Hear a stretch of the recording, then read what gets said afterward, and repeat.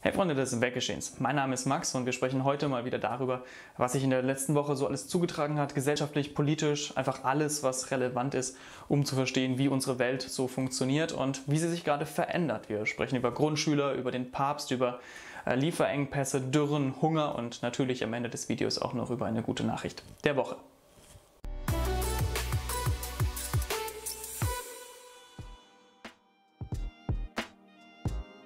Und dann springen wir direkt rein ins erste Thema. Und da schauen wir auf eine Veröffentlichung einer neuen Studie, die aufzeigt, dass Grundschüler derzeit schlechter lesen und rechnen können als noch von vor ein paar Jahren. Ein Grund hierfür wird aufgezeigt, denn die Studie ist von letztem Jahr direkt nach den langen Lockdowns im äh, Frühjahr. Und das erklärt natürlich zum einen, wo diese Unterschiede herkommen, dass Lockdowns und damit äh, ja, Schüler aus den Schulen nehmen und von zu Hause unterrichten eben fatal für deren schulische Leistung ist, aber der wichtigste wichtigste Teil dieser Studie ist eigentlich, eigentlich dass die sozioökonomische Herkunft in äh, dieser Phase eine sehr viel größere Rolle noch gespielt hat, als es das normal schon tut. Und Deutschland ist grundsätzlich ein sehr unfaires Land in der Bildung. Äh, die ja, sozio soziale Herkunft, die soziale Schicht spielt eine sehr, sehr große Rolle dabei, welche schulischen Leistungen man am Ende bringt. Und äh, das ist nochmal schlimmer geworden durch die Lockdowns im letzten Jahr. Und auch das wiederum ist ein Grund, der aufgeführt wird, ähm, unter anderem von unserem äh, Gesundheitsminister eben aber auch von der Expertenkommission, die ja gerade untersucht hat, welche Corona-Maßnahmen wirklich was gebracht haben, zu sagen, Lockdowns nur noch in Ausnahmefällen und Schulschließungen, das ist das Schlimme eigentlich, die im absoluten Ausnahmefall nur noch, denn wir sehen gerade, was für verheerende Folgen das auf die schulischen Leistungen der Kinder, aber eben auch auf ihre psychologische Verfassung hat. Ich hatte angekündigt, dass wir auch über Lieferengpässe sprechen. Warum? Nein, das ist das, was wir gerade alle auch so in unserem alltäglichen Leben mitbekommen. Gerade beim Thema Fahrräder zum Beispiel, aber auch Spielwaren, elektrische Geräte sind oft viele Dinge einfach nicht verfügbar. Und das liegt an vielen verschiedenen Dingen natürlich. Auch immer noch Nachwirkungen von Corona, auch immer noch Nachwirkungen von dem Containerschiff, was im Suezkanal stecken geblieben war. Vor allem aber sehen wir, dass gerade 2% aller Frachten, die auf den Weltmeeren rumtuckern, äh, in der Nordsee sind und darauf warten, in unter anderem Hamburg anzulanden. 4% aller Frachten sind in chinesischen Häfen und werden nicht ein, nicht ausgeladen, unter anderem wegen Corona-Lockdowns. Bis sich das alles stabilisiert, wird es vermutlich noch bis 2023 dauern. Das kommt auch auf die Corona-Politik Chinas vor allem an und auch da sehen wir wieder, wie ja, abhängig wir von China und andersrum sind, wie ja, globalisiert die Welt ist und wenn es eben an einer Stelle hakt, dann wird es eben Lieferengpässe in vielen Teilen der Welt geben. Und ein weiteres wichtiges Thema, was uns gerade alle beschäftigt, sind natürlich steigende Energiepreise, die Energiekrise grundsätzlich in Deutschland. Um Gas unter anderem zu sparen, möchte man jetzt Gaskraftwerke vom Netz nehmen, ähm, die Strom produzieren und dafür wieder Kohlekraftwerke anschalten.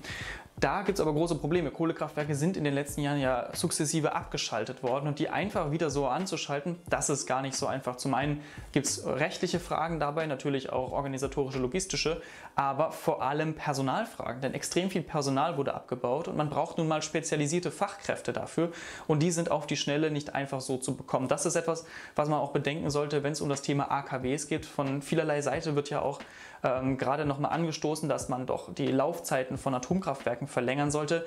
Da gibt es einfach extrem viele ähm, Parameter, die mit reinspielen. Da geht es auch um Personal, auch um Logistik, auch um rechtliche Fragen. Und deswegen ist das alles gerade gar kein einfaches Thema. Und wer behauptet, er könnte mit ähm, ja, großer Sicherheit sagen, das ist die richtige Entscheidung, der wird vermutlich ja nicht alle Fakten offenlegen. Außerdem haben wir in den letzten Jahren immer wieder davon gehört, dass Deutschland so trocken ist wie schon lange nicht mehr, dass wir eine sehr große Trockenperiode haben, verschiedene Felder nicht mehr bestellbar sind und ja, Wasser einfach ein größeres Thema ist. In Deutschland ist das in Politik und Gesellschaft allerdings noch nicht so wirklich angekommen, in Italien spätestens jetzt schon, denn in Norditalien sehen wir die größte Dürre seit über 70 Jahren. Wasser ist sogar rationiert worden, über 30 Millionen Euro hat die Regierung in Italien freigemacht als Hilfe für die Regionen und zeitgleich ist diese Woche auch noch in einem Journal eine neue Studie erschienen, die zeigt, dass Teile von Portugal, Spanien, Frankreich so trocken sind wie seit über 1000 Jahren nicht mehr. Ein Zusammenhang mit dem Klimawandel konnte noch nicht bewiesen werden, ist aber natürlich wahrscheinlich. Vor allem aber einfach damit, dass wo Menschen wohnen, Wasser gebraucht wird. Dass wo Menschen wohnen, oft der Grundwasserspiegel sinkt, weil die Menschen mehr Wasser benutzen, als sie eigentlich nachhaltig benutzen dürften. Und da sehen wir jetzt unter anderem Auswirkungen von. Ein ganz anderes Thema, was ich diese Woche noch mit euch besprechen wollte, war eine Aussage des Papstes Franziskus, diese Woche der Abtreibung mit Auftragsmord verglichen. Und jetzt könnte man sagen, gut, welche große Rolle spielt der Papst schon? Ähm, die Kirche und deutsche Gläubige vor allem sind eben nicht mehr so richtig connected.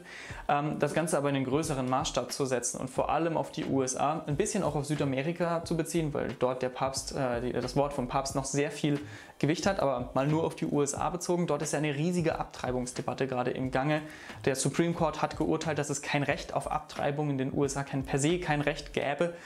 Und äh, ja, dort haben christliche Gemeinden eben extrem viel Einfluss. Und da sieht man wieder, ähm, welchen negativen Einfluss das auf die Politik haben kann. Warum eben Kirche und Staat strikt getrennt gehört, weil das einfach ein Riesengraben in die, äh, in die ja, US-Bevölkerung, in die Gesellschaft der USA gerade treibt und diesen Keil zwischen Demokraten und Republikanern, zwischen Christen und Nichtchristen eben immer tiefer reintreibt und einen immer größeren Abstand zwischen beiden Gruppen schafft.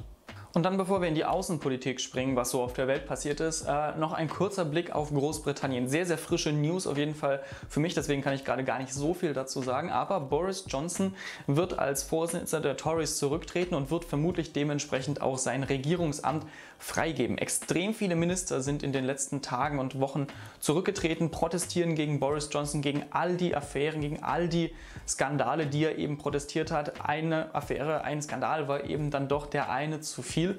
Und äh, die Tories wollen eben nicht die nächsten Wahlen haushoch verlieren. Dementsprechend wenden sie sich selbst auch gegen ihn, legen ihm den Rücktritt nahe. Und diesen hat er dann auch angenommen. Das heißt, Boris Johnson wird vermutlich Geschichte sein und es bleibt jetzt abzuwarten, was als nächstes folgt. Es könnte theoretisch eben ein neuer Regierungschef gewählt werden, direkt von den Tories. Es könnte vermutlich aber auch äh, zu Neuwahlen in Großbritannien kommen. Das ist eigentlich relativ wahrscheinlich von all dem, was ich bisher mitbekommen äh, habe. Da halte ich euch natürlich absolut auf dem Laufenden und nächste Woche sprechen wir da auf jeden Fall nochmal drüber.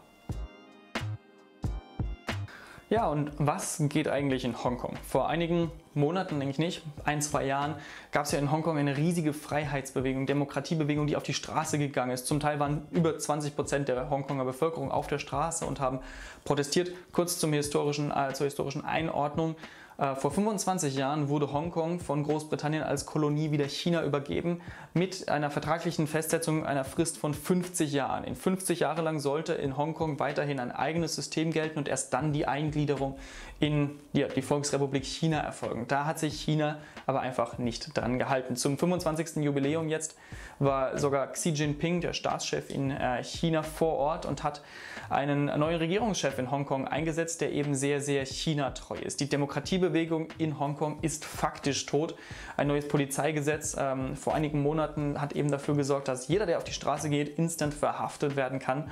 Und ja, dementsprechend äh, immer mehr Akademiker und Demokratiefreunde verlassen Hongkong und auf kurz über lang wird Hongkong dann doch eingegliedert werden in die Volksrepublik und das wird eben nicht nach diesen vereinbarten 50 Jahren sein, sondern vermutlich schon einiges früher.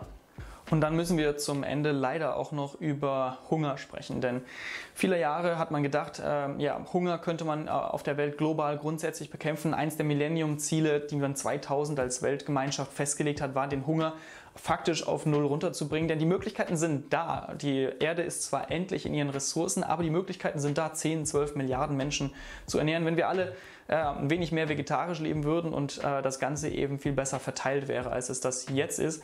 So ist die Welt aber nicht und mit dem Ukraine-Krieg unter anderem sind die Weizenpreise extrem in die Höhe geschossen. Die haben sich jetzt wieder stabilisiert, aber das, was wir an Dürre in Italien, Spanien etc. sehen, das ist natürlich noch mal viel, viel schlimmer in Afrika. Dort sind die meisten Hungernden und das wird progressiv die nächsten Jahre immer schlimmer werden und das sehen wir eben auch jetzt schon.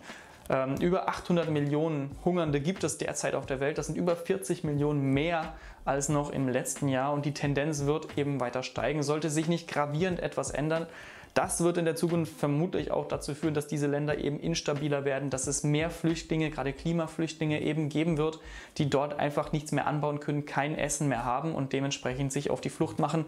Das wird langfristig eben ein sehr großer Punkt, den es zu beachten gilt. Ist natürlich extrem schade, bleibt abzuwarten, wenn sich der Ukraine-Krieg stabilisiert und die Weizenpreise vielleicht doch wieder runtergehen. Klammern, weil die Ukraine und Russland extrem große Weizenexporteure sind ähm, ob diese Situation wieder besser werden kann, aber ja, langfristig müssen da andere Lösungen gefunden werden. Aber wie immer ist die Welt nicht nur ganz schlecht und wie immer habe ich noch eine gute Nachricht der Woche für euch, sogar diese Woche zwei Stück. Zum einen ist das erste Halbjahr 2022 bereits rum. Das halbe Jahr schon wieder einfach weg. Ähm, aber dafür gibt es eine schöne Statistik, denn fast 50 Prozent des deutschen Stroms kam aus erneuerbaren Energien.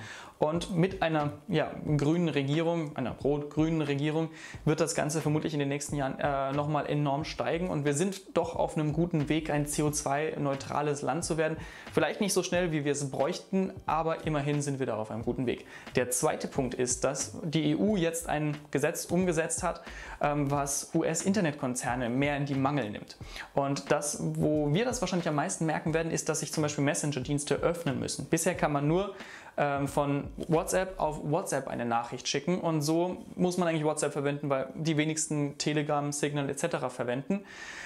Jetzt wird man aber in Zukunft, wenn das implementiert ist, auch von Telegram auf WhatsApp eine Nachricht schicken können und man muss eben, es muss nicht jeder bei jeder App angemeldet sein. So werden wir das mitbekommen. Grundsätzlich gilt, ähm, der Wettbewerb soll wieder gestärkt werden. Es soll nicht diese Gatekeeper-Unternehmen geben, die einfach bestimmte Funktionen haben und nur diese Unternehmen haben diese Funktion, sondern es soll aufgebrochen werden, diese Strukturen und ich denke, das wird dem Wettbewerb und dem Markt grundsätzlich in Europa, aber in Deutschland eben sehr, sehr gut tun.